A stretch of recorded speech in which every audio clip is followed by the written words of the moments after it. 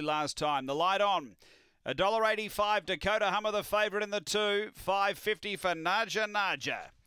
Racing, Dakota Hummer step cleanly is going to push through and be the leader by two lengths as they race out of the straight and got away. Burning Nitro to second.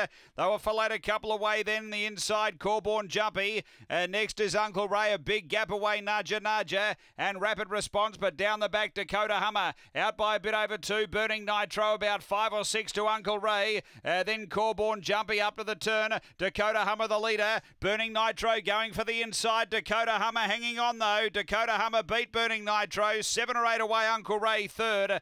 Uh, then Naja Naja. Next is Corborn Jumpy and Rapid Response. Time is brilliant here. Best of the night. 29.69. So a uh, clear improved run as far as Dakota Hummer's best time goes has been uh, too good. Number two. Uh, second, going to four, Burning Nitro uh, for Nikki Price, and third to eight, uh, which is Uncle Ray for Mick Giniotis. It's two, four, eight. One is fourth, and uh, 29.69, a uh, big improved run for Dakota Hummer.